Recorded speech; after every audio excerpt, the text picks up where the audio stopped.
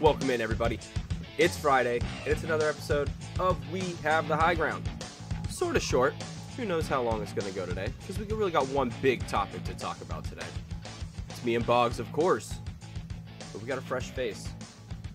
It's producer Sean, executive producer Sean, the leader, the creator of the pop culture universe himself. Thank you for coming on the show today, man. How are you Uh, doing?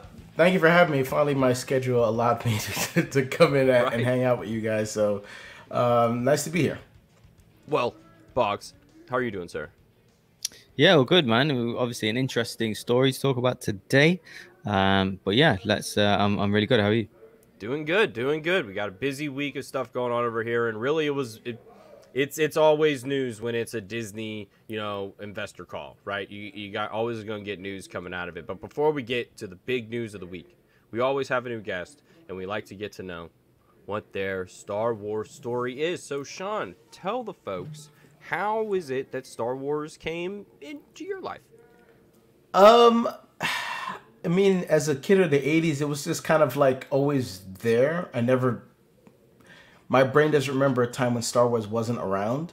But as a kid, it wasn't prevalent. It was just always just kind of like in the background. It was always on TV, on regular TV, on the weekends, playing in the background where me and my brother playing around. It just was always on TV. So it's not really until The Phantom Menace when I actually saw a Star Wars movie in the theaters. That was the first Star Wars movie I actually saw in the theaters because I didn't go to the re-releases. I should have, but I didn't. Um, so Phantom Menace was the first. Obviously, was disappointed. Saw Clone Wars, disappointed some more. Attack of the Clones, sorry, disappointed some more. I'm sure of you were disappointed during Clone Wars as well. I don't even. I don't even think I remember seeing that in the theaters. I don't think I did. I almost walked out. Um. Either ways, um, so Star Wars has just been. It's gotten more and more important as I've gotten along. What really actually filled in a lot of the gaps was the Star Wars uh, video games. So the S- Super NES, I had that, and then playing all the Star Wars video games, the super versions of all three, uh, kept my Star Wars fa- um, fandom going for a while there. But uh, it was more or less just the prequels were the first movies I I saw in the theaters, but I've obviously saw the, the original trilogies thousands of times before then. So, um, but yeah, I, I, I would I would label myself as a casual Star Wars fan because I'm not really going to like read any of the books. I'm eventually going to. I started watching Clone Wars, like I told you guys before. I have to pick it up again. I didn't see Rebels. I will watch that. Um, so because I want to start watching the Bad Batch when that comes out in May. So, uh, but I would I would call myself a casual Star Wars fan, but my tip over the edge of like trying to uh, go further than that. You're you're, you're interested in it, which you Yeah. you're, you're you're you're intrigued by like oh what are these kids on here talking about all the time about like I mean people go for hours about Rebels like we Bogz and I could sit here and do a three hour discussion of the importance of Star Wars Rebels and it's like you see the intrigue and the investment that people have and you're like oh well there's probably a reason for that. So at least you'll give it a shot. I know some people they won't even they won't even dabble in the animation parts of it at all but they'll go see the movies they'll watch the TV show and I got tons of friends. Well they'll I'm in a I'm in a group chat with five of friends from college and how many times during the Mandalorian were they like who's this Ahsoka girl? I'm like well you got to go watch this cartoon and they're like eh, I don't know about that. And then automatically throws them off. Yeah, I mean that's that's unfortunate. There's gonna be people who who never give all those other animated shows a chance because they're anim- animated, and that's that's where they'll draw the line. So it's unfortunate, but it is what it is. yep well I want to know what's Sean's Oh, favorite. Oh, oh, movie yeah. As well, we normally ask. No, Oh, what's Star Empire. Wars story and what's your favorite? Okay. Empire. fair enough um, But I would I would also say Rogue One is, is really high up there too. I really liked Rogue One only because it was just so different from the other ones. Mm-hmm. I like I like the idea when they originally said, "Oh, we're gonna do Star Wars story movies. We're gonna be different." I was like, "Yeah, I love different. Why not?" And then mm-hmm. the version we got of Rogue One isn't the re- the pl- version that they planned. But even still, I still loved the way that that movie turned out, and I wish that cut of that Well, yeah, I don't think I don't think we're ever getting. I don't think we're ever getting that. The scene But, where she um, almost like dies to the Tie Fighter at the top of the thing, where they're like staring each other down. That Hmm. was gonna get pretty dark. Well, they they reshot that whole third act. If you Hmm. if you go back and watch the trailers of the the original trailers of Rogue One, it's completely different from what Hmm. we got. So, um, I don't think we'll ever see that footage ever again. But it is what it is. But yeah, Rogue One is really high up there, especially that Vader scene. Just like which is another last minute uh, Yep, kind of thing. was. That was Mhm. that was because of the whole.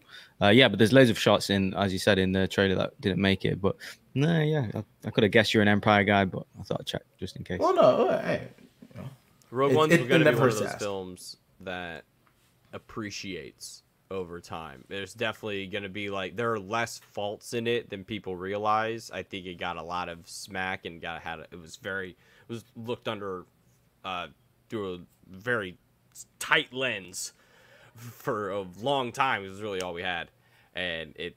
I, I love. do you have I- also, Sean? Do you have a favorite character? Because I want to know because I find it interesting when someone doesn't like, okay, in inverted commas, like the prequels, uh, just- and then they are a Star Wars fan. I'm thinking, okay, so where is their kind of where's that in then? Obviously, it's with the original trilogy, but what's keeping you tied in that for 20 years? Do you know what I mean? So uh, I always find that that. Uh, I mean. I mean, I guess by default would have to be Luke. Um, yeah, because I remember always picking him. Um, in the game, in the Star Wars games, you don't have to always use Luke, but I always did use Luke because maybe because I was Yeah. like the lightsaber, so uh, versus a blaster. Yeah, it would have to be Luke. okay, That's fair. That's good fair. choice. Well, someone who actually has a lot of say into the future of Star Wars now confirmed as we move on to the main topic of today's episode. Kathleen Kennedy, confirmed by Disney CEO Bob Chapek this week to be staying on as the president of Lucasfilm for years to come. We got this. I'm gonna throw it over to you, Bogz, for your initial reaction to this news. What was your first thought when this came across? You know, you started hearing it. You're like, oh, was it a sense of, oh, good, or could have been someone else? I'd say more the second. Um, I'm not as like because well, I think it's fair to say like some people are genuinely actually gutted with this news. Um, I don't think I'm not at that level, but like, you know, for me that she's you know she is um, she's I don't know I just I feel like she's as a producer obviously she's one of the best of all time. There's no dispute there. But in terms of a creative head of Star Wars, creative head of Lucasfilm, um, I would like to see literally a creative head, creative head, head in charge. Someone, you know, again, like obviously a lot of people saying, like Filoni and and Favreau, you know, like a descendant, like uh, you know, they're Lucas's apprentices. You know, Lucas taught these guys, and that's what I was hoping for. And also, I kind of bought into the stories that she was going to leave. You know, I believe her contract finishes next year or this year. So It's, I it was believe she supposed was- to finish summer of 2021 prior to because Indiana Jones was supposed to be the final film of her contract, and Right. it was supposed to be released initially summer of this year. Hmm. So, and when that film was released, that was the last one of her contract. So although we've got this statement, which you're going to come to, right? Yes, sir. Is that which she hasn't actually extended her contract, so technically it still finishes this year. Although they've said, again, you're going to come to it that it's not. Um, they're looking forward to her to be involved in everything that she's done. So They've not actually said that a contract's getting extended or you know or anything like that. It was quite a generic statement. Um, so I find that interesting. But yeah, but to be fair, I mean, Star Wars right now is really well positioned. So I am kind of. Um, I was hoping for creative head in, to be the head of Lucasfilm, but where Star Wars is at the minute with all the projects coming, um, you know what we talked about, and um, all the excitement, previous investor announcements, and Mandalorian, and all kinds of stuff. So I'm excited for that. But this, I wasn't kind of overly ecstatic for. No, I'm not. I, I can't lie. And uh, Sean, as I get this quote ready, what were your, you know, initial reactions as well? This to me is just kind of, uh, I, I honestly wasn't expecting this Hmm. kind of news because this wasn't like a big production like the last investor thing we did. This was just a regular old Call. Yeah. investor call, but we got some Yeah. pretty big news. I mean, I think this is these are what these calls normally are. I think the only reason we got the last one is because there was no D twenty three, there's no Comic Con, so they just had to kind of had to figure their own way of announcing all these things. But for uh, for me, uh, Bob saying that is just like, yeah, that's what he's supposed to say. I mean, for me, I get Bogz, I get what, what you're saying 100. percent That uh, you prefer someone with um, a little bit more, uh, like a a, a, a a Kevin Feige type Sure. running Lucasfilm. But for me, it's like remember, well, George Lucas picked her to run it, so he picked her for a reason. And I can understand that you know the movies aren't as good as we all would like, but to Disney's point of view, they all made over a billion dollars. And that's all they care about. They don't care about what the fan. Oh, some of the fans think this, some of the fans think that. Well, the fans still paid the money. Mm-hmm. Fans still paid the money. Fans are loving Mandalorian season one. They love Mandalorian season two. They're hyped about all the other shows, and she's the head of that. So she's again, if you want to give her slack for the for the movies, I get that because obviously Solo didn't perform as well. So as mo- as much money as the the sequel trilogy made, Solo didn't make a lot. But then the prequels made um all the shows are doing really well, so she's got to get credit there. So for me, it's really not that much of a surprise that they they they wanted to stay. Will she end up staying? Maybe, maybe not. But it's not a surprise that they want her to stay. And as we take a look at this quote, we've been absolutely thrilled that we can have the creative talent in our company, the likes of Kathleen Kennedy. We look forward to having Kathleen directing Lucasfilm activities for years to come. That's the part where I'm like, okay, seems like they're invested in her, and I'm I'm curious because when when we look at like the descendant stuff here, Bogz, you talked directly about like Filoni coming directly from George. Kathleen's a direct descendant of Steven Spielberg. It's two different types of, I think, approaches to storytelling are Steven Spielberg's and George Lucas. Both would inquire on help on each other's projects, but definitely were not like the same type of, uh, I don't know, like nerdiness. I, I, I don't know how to put that. It just seems like, you know, like Steven Spielberg doesn't have a slice in the sh- movie trivia schmoedown inner geekdom division, d- right? But Indiana Jones and Star Wars does. You know, it's just something a bit geekier about those types of films.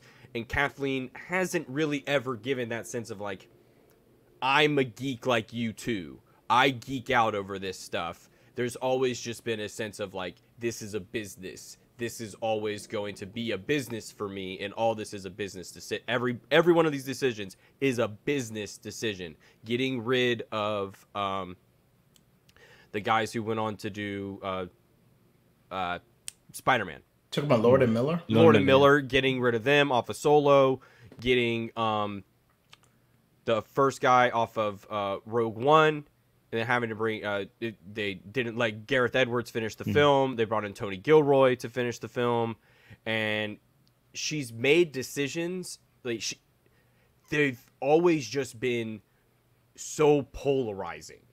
I don't know why, but everything and I that's kind of the thing that I want to get into a bit. I think is a conversation we haven't had is like why is it that she feels so comfortable with just removing people from films and then you know just keeping it keeping it going. I don't know because it seems like those decisions. I don't know if she's thinks about how we view her now.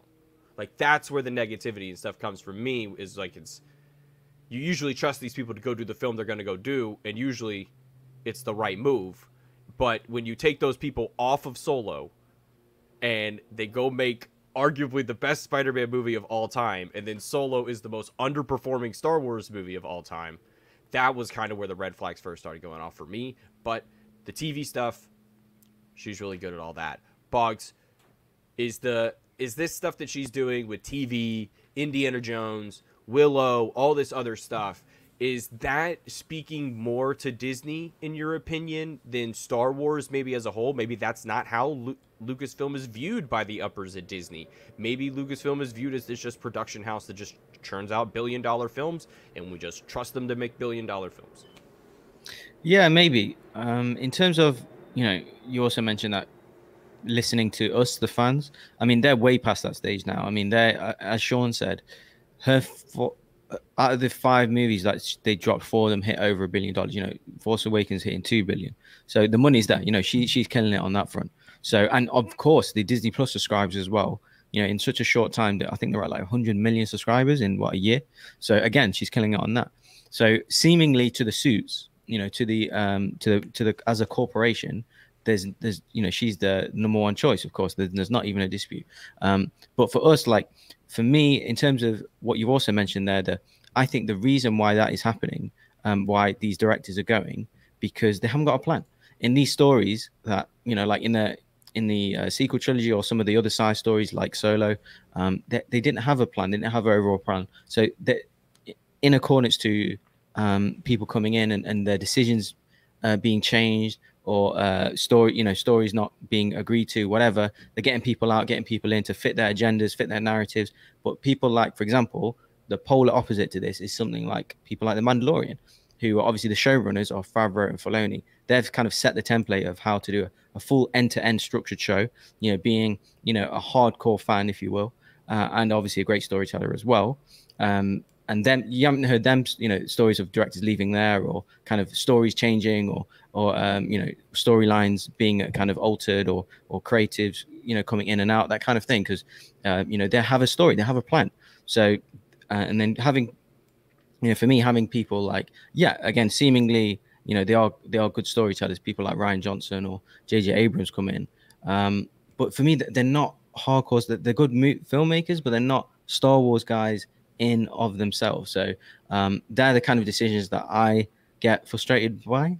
But as a, in terms of what you're saying, going into the other Lucasfilm products, I kind of see it as a, as a bonus because if she imagine just her working as a producer on the thing, uh, on these kind of new properties, like it, you know, she's one of the best producers of all time. That's not a dispute. I want to see her produce uh, Indiana Jones. I want to see her produce Willow, things like that.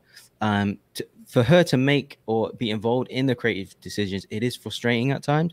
But at the same time, at times she got it right as well. Like in the Mandalorian, you know, she does appoint these guys to be the showrunners, and that's what I want to see more of. You know, moving forward, you know, she's no one's not redeemable.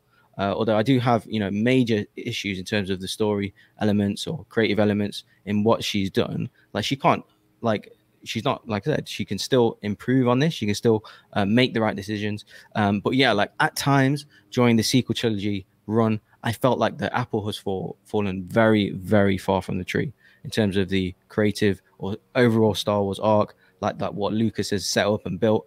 Um, but she has kind of brought it back with the Mandalorian. So uh, yeah, very interesting moving forward. Um, yes, but I would like to see more proper, full-on Star Wars people be involved in the creative start um, in these projects from the start, not kind of people coming in and out who, who make kind of successful movies or successful products. I'm not interested in that. I want to see proper Star Wars people uh, telling good stories, basically. So I don't know if that answers your question, Colin. I think you're mute, Colin. But um, sorry, you keep wanting to bring in the conversation around like a Kevin Feige type, right? So somebody to come at least the structure yeah. of how he handles the overall narrative of the Marvel universe. And to me, uh, at least having somebody on set like that. Like if you told me that Dave Filoni was going to be on set of every Star Wars movie, making sure that everything felt Star Warsy, I would that would make me feel better because you know you, you go back and Kasdan is doing. Uh, everybody on five and six. Obviously, Lucas didn't direct five and six, and but he was there the whole time, right? Making sure that his vision. Was Colin, he's there the whole time for the Mandalorian as well, right? Yeah, right. I mean, I mean, he's, yeah. around. But for yeah, the yeah, but for the sequels, he's not right. He doesn't even go right. to the premieres, which is like, oh, like that's a, such a telltale sign, and it's just like it's so frustrating. You know, the creativity isn't there uh, on these products, and it hasn't got his seal of approval, which I would like. So, uh, but yeah, sorry to interrupt you. No, no, you're fine. So, Sean, I, will throw it to you this way. So, would you rather see like Kathleen is a fantastic producer, right? Like, but at the same time, she has shown like the ability to be a fantastic president. Can she be both at the same time? Um, I think she can be. I think she's learning on the job, but at the same time, she's making good decisions, but she's also not at the same time. Like I was intrigued by Lord and Miller being hired to do Star Wars. I was like, oh, that's an interesting take. Mm-hmm. Them doing a solo movie. Didn't want solo to begin with, but once we were getting it, it, you know. But the reason she fired them was because they were doing they were just going off the cuff. They were just shooting improv. That's not what they were hired to do. Now, could you so I understand why she got rid of them. My only complaint with her would be like you waited till they were like almost 2 weeks done to get rid of them. That's more of the that's more of where my like eyebrow got raised like you were seeing the dailies all this time. You were seeing what they were doing all this time. It's not the decision to fire them. It was when she fired them.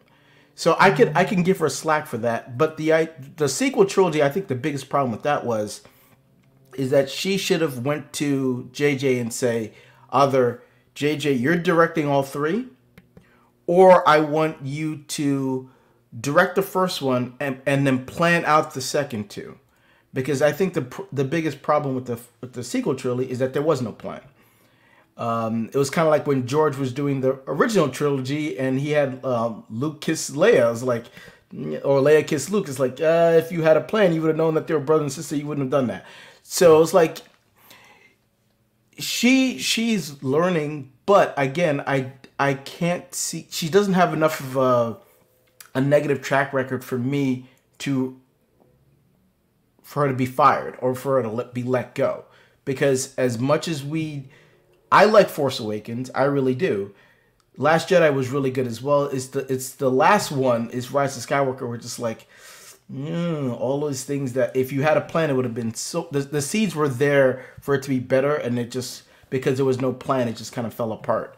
But considering we're getting the Mandalorian, we're getting the Book of Boba Fett, all these shows that we're all super excited about she's a part of that. And I can understand where you guys are like, well, maybe Dave Filoni would be a better uh, person to be in charge. Well, maybe that's maybe we don't know if he wants to be in charge or if he has the the the mindset or to be in charge. He's per, we we know what he is and he's good at that. Why risk putting him in a position where we don't know what he if he's going to be comfortable in that? He's good exactly where he is.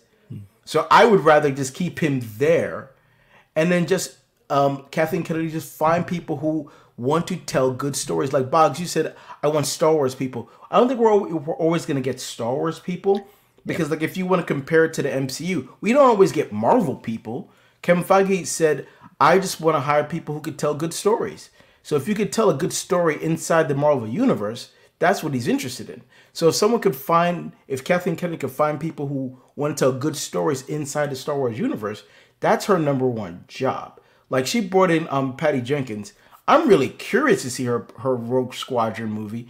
We don't know what that thing's gonna be, but the fact that they got Patty Jenkins, even though she's coming off Wonder Woman 1984, but I'm still excited to see what she's going to bring to the Star Wars universe. I don't know if she's necessarily a hardcore Star Wars fan, but she doesn't necessarily have to be. She could be like, hey, you know, I was kicking around this idea about Star Wars. I really want, I'm passionate about this story. Let me do that. And Kathleen Kennedy's like, yeah, sure, let's do it. So um, I don't necessarily know if. I mean, I don't know. I that that yeah that, that's it. no, we it's a yeah. To me, I, I think she's done a good job of getting people in that intrigue, like you described yourself, the casual fan. Getting Patty Jenkins gets you more on board than them saying, "We got some unknown to come in and direct." this Rogue Squadron movie because you probably don't have any affinity to Rogue Squadron unless you played one of the video games or you read the books. So unless you so there's not some form of attachment there. Now it's Patty Jenkins, and so that was something that I was able to show my girlfriend, and she was like, "Oh, Wonder Woman director is doing a Star Wars movie. That sounds awesome. A female's directing a Star Wars movie, fantastic." And so it's all these different ways.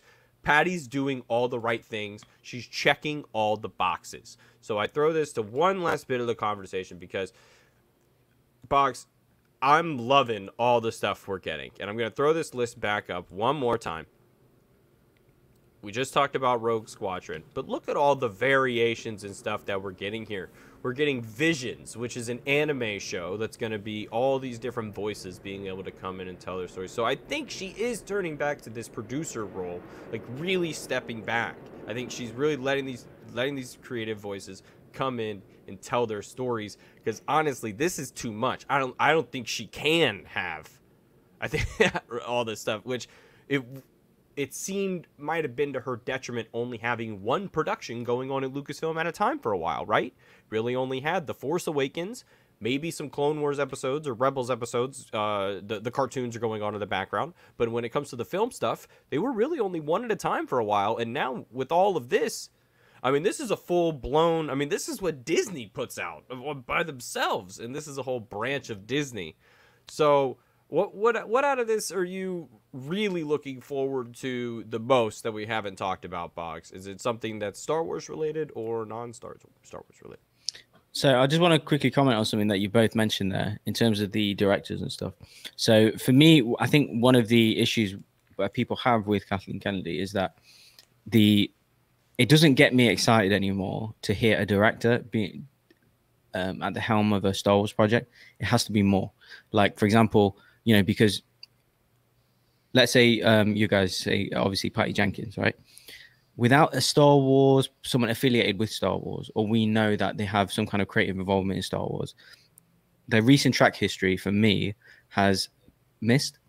So I'm not massively excited when I do that. Or, for example, we've had numerous announcements that have been cancelled, like like we just covered, Lord and Miller cancelled or removed, uh, and then obviously brought Ron Howard in. The Game of Thrones guys, Benioff and Weiss, cancelled. Um, Colin Trevorrow, removed. So just naming someone isn't enough. That's that's nowhere near going to be good enough. And that's usually after some something bad happened. That's usually after one. I don't know. Films, well, you, you mentioned Trevorrow. That's after the second Jurassic World or whatever. It was that uh, the Book of Henry, I think, came Henry, out. Yeah, the, Henry, the Book yeah, of Henry came out. It. it. was a couple of things, and then, well, then you yank a Star Wars movie from him. It's it's yeah, it's those kind Did of. Did you read his script? I loved it, I man. Loved like it. I, some of the concept art we for it, it was unreal. That. It was unreal, man. I was so hyped up for that. I've seen concept art with it with people putting music in, and like, oh, I want to see that movie still, even now. Uh, hopefully, we see a Contraro cut. Snyder cut. Yeah, yeah, exactly. the Trevorrow cut. Yeah, it works with anything, right? So, but yeah, no, these are all the frustrations that people have.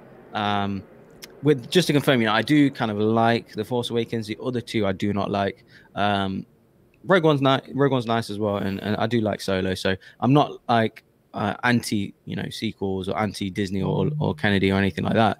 But for me, like my heart is with the Lucas era stuff, and um, and I've seen this in I did see it in Rebels and The Mandalorian, and because that's ran completely differently, uh, I want to see that in the overall in other Lucasfilm properties. But from that list that you showed me, Colin, I definitely no doubt in my mind. Well, obviously, in terms of Star Wars, it's Obi Wan. Of course, that's one of the most thing I'm looking forward to. Obviously, being held by Deborah Chow and Dave Filoni, and you know, and uh, you know, Ewan McGregor, and you know, and uh, Hayden Christensen. I can't wait for that. But the non-Star Wars thing, Indiana Jones, like that's one of my favorite all times. Uh, I hope they get it right so badly. Uh, you know that that means a lot to a lot of people. Um, so yes, it's, it's from that list. It's Indiana Jones. Obviously, don't know nothing about it, um, but um, I know I believe uh, they did announce the director. It was James. Um, he's a James Logan director. Mangold. Yeah, James Mangold. Yeah. So we have the director. Obviously, quick we curveball. Would you rather James Mangold Logan this movie and backdoor the new? I mean, he he he has a proven track record of using an older character and funneling in the younger version of that character in the film. Would you rather him do that well, or would you rather just see one last ride with Indy? Just just Indy, you know, you don't need to try to feed me some new generation Chris Pratt, nothing yet. I would say I would say personally, personally I would say one last ride with Indy.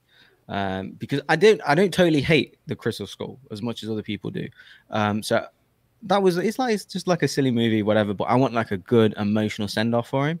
Um, because we, have seen the kind of old man western thing obviously with logan but i've got to be honest with logan i'm not as much in love with it as everyone else is so i like it Uh, I'm not like, oh my god, it's the best Star, uh, you know, superhero movie, or, or not for me. It's not even the best X Men movie for me personally, but uh, I do like it. Of course, I'm not not disputing that. So I I want a better send off for Indy. But yeah, I want to hear uh, Sean's thoughts as well.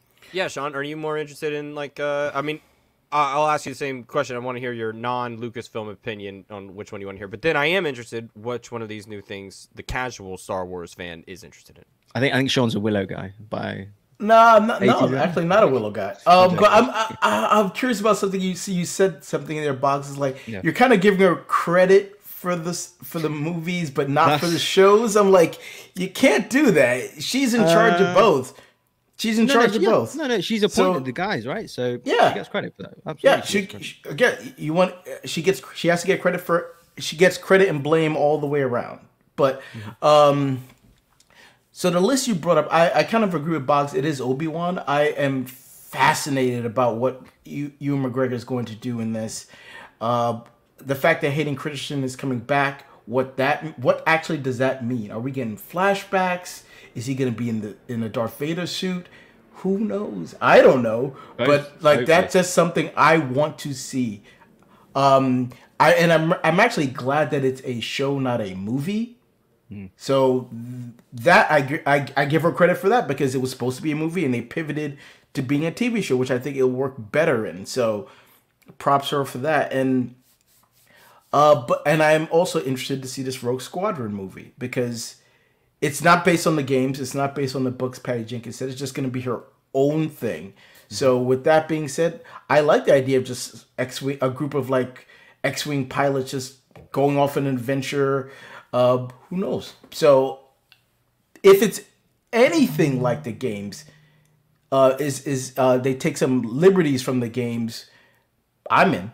I love. I used to love those games. Uh, and I agree with Bogz again. Indiana Jones. Uh, I love Indiana Jones. I love um, The Last Crusade is my favorite Indiana Jones movie. I love that one. I think the chemistry with him and Sean Connery is just Ah, it's great. Yeah. I, I'm so sad they couldn't get him back for Crystal Skull, but you know mm-hmm. he was retired by then, and and nothing could get him out of that. But I do want to just see one last ride of Indy. I know eventually that that IP is too valuable just to be like, all right, well we'll do Indiana's Five and just let it sit there forever. They're eventually going to reboot it, so give give uh, Harrison Ford his proper send off because Crystal Skull is just that's not a good way to to leave that character and that legacy. Give him one last movie by himself, then wait maybe five, ten years and completely reboot it and start from scratch. Scratch, because then you can really do Indy proper, where you can really build up to him. You could do really a young Indy, kind of like how they're doing uh, Tom Holland in, in Uncharted. You can kind of start that way with Indy, and eventually fill in the gaps. Or even if you don't want to necessarily reboot it, you can fill in the gaps of his stories with a younger Indy. Like these are some other adventures he went on in between the things that we already saw. So there's possibilities that they can do. But yeah, I agree with Bogz. Just give Harrison Ford because he's getting up there in age, so they got to really um, hurry up and shoot this thing. Because I'm sad that we're not getting Steven Spielberg to shoot it like we were supposed to. But mm-hmm. all the pushbacks and then COVID happened, and um, so he wasn't able to do it. But as long as we still get it and it's good, then yeah, I'm I'm excited for for Indiana Jones five or whatever it's gonna be called. Yeah, for me, if it comes to Star Wars, um, Rogue Squadron sticks out because it's the only confirmed piece of Star Wars that takes place after Episode nine. So mm-hmm. very intrigued by that. For the outside of the Star Wars stuff, it's Children of Blood and Bone this story I think is going to be has the potential to be the next Harry Potter. And I'm not even joking. This is going to be the it's like combining the culture of Africa with the mysticism and expansiveness of Harry Potter and the novels are fantastic and it's going to really give Lucasfilm a whole new audience that they've never had before. It's age spanning a whole new side of the world. I mean, it's gonna be fantastic. I think it's really gonna take people by surprise. And great job, really giving her the props of going out and getting a property like that and bringing it into Lucasfilm and making sure that it's done right. Because I think it has the potential to be another billion dollar franchise. so get ready for it. because it's coming. Uh, Sean, throw it to you, man. Final thoughts and uh, on this Kathleen Kennedy stuff. Uh, yeah, final thoughts. I just think that you know she's doing a great job, and I like you brought up all those things. Like, yeah, she's gonna be involved in all of them, but the same way Kevin Feige's invi- involved in all those things. Like, Marvel's coming out with ten properties this year, and he had his hand in all of it, but he's not involved in all of it. Like, he's overseeing all of it. I think as long as she's overseeing all of it, she can do it and do it well. Um, she she has more um, hits than misses in my book. So the fact that they're keeping her is to me a no brainer. Um, as long as she's putting the right people in place and the communication between her and them is what is good, I think Lucasfilm is in is in great position going forward. Bogz, is Lucasfilm in the right hands? That's a tough question, Colin. Tough question. Um, I'd like. That's my job. I ask the tough questions here. I mean, uh, with respect, I mean, I I kind of want to say no. You know, to be honest. I mean, financially, yes. Um, you know, there's no dispute there. You know, if but for me, it's not about the money. You know, this is my favorite property, my favorite franchise, my favorite movies of all time. I want to see the best stories being told. And with her in charge, I haven't seen the best stories being told. In some things, I have. Yes, uh, I'd say Rebels and I'd say Mandalorian. Anything else is for me. It's not. It's not hitting the mark for me. Um, so overall, like I said, not massively thrilled um, with this announcement. But like I said, no one's kind of unredeemable. So she can still, as long as she assigns the right people, as Sean's just said there, I'd be, you know, I can be content with that. Um, and then, you know, if it's financially successful whatever. But for me, I want to sweat about the story. Uh, and as long as I get that, that's the main thing. So, yes, um, wish all the best and stuff. But I need a good story. Need a good story folks, let us know down below in the comments which of these properties are you most excited to see? Is it Lando? Is it a droid story? Is it season three of The Mandalorian? Or is it Willow? Who knows? But let us know, of course, and like this video, please. But I'll throw it over to my cohorts today. Bogz, where can the fine folks on the internet find you? So yeah, you can uh, you know catch us here. We're dropping a few things in the coming week. Uh, coming to America review. Obviously, we have the high ground every Fridays as well. Um, hopefully, division review as well coming soon. But uh, yeah, and I'll check out my interview with uh, you know the next Karate Kid actor, Michael Cavalieri. Um, that was really cool with him. Um, and yeah, catch us live on every Saturdays on the, on John Roker's YouTube channel. Uh, that's the Ultimate Schmoedown After Show live every Saturdays 3 p.m. PST. So uh, yeah, see you guys there. That's the good stuff. You can find Sean mixing and mastering the producing stuff over there. Producer Sean on Saturdays today. He's co-host Sean. Where where can everyone find you, man? Uh, pretty much everywhere, just box it. Except uh, you can just find follow me on Twitter at my name, Sean Barriteau, and yeah, just we're gonna try to uh, we're actually gonna do a um, Coming to America two review. Uh, we'll also start previewing Falcon and Winter Soldier because that will start next, Next week. week, right? a week yeah, yeah. from today. So uh, And oh, Justice League! Come on, man! I can't got- wait yeah, for we got- Justice League. Come it's on! got to f- carve out four hours to sit down and watch that thing. Yes. Well, Uh, that's yes. one hour a week. I booked the day off, by the way. No, no, it. it's it's four hours. It's four hours. They're dropping it all in the one day. It's I yeah, it it's, off. it's a Next four-hour movie. Friday, It's a I am four-hour off, movie. mate. No So, one's turned um, my phone off. Can't wait. well, it's, it's well for us. It's coming out on Thursday, so so it's funny. Uh, Thursday getting Justice League. Friday we get Falcon and Winter Soldier. Oh yeah, of course. yeah, Um, yeah, it's gonna be very very interesting. Uh, March has got a lot of good stuff coming out, so Hmm. busy month. Yeah. March is the definition of that Jack Harlow song, What's Poppin'? The answer. March. It's poppin'. Folks, you can find me at the underscore C Morris. We're always here. You know where to find us on Fridays. We're sitting here talking Star Wars. It's a great conversation. Thank you, Sean, for hanging out with us. Bogz, it's always good to see you, sir. Mm-hmm. Remember, folks, we have the high ground. We'll see you next time. Bye.